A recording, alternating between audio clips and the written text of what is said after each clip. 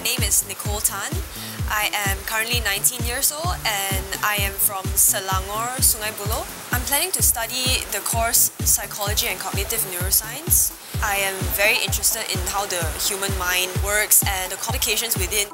My friends, they would describe me to, as uh, very empathic, very compassionate in nature because I really like to help people and it doesn't matter who it is. I just like to help people get rid of their burden.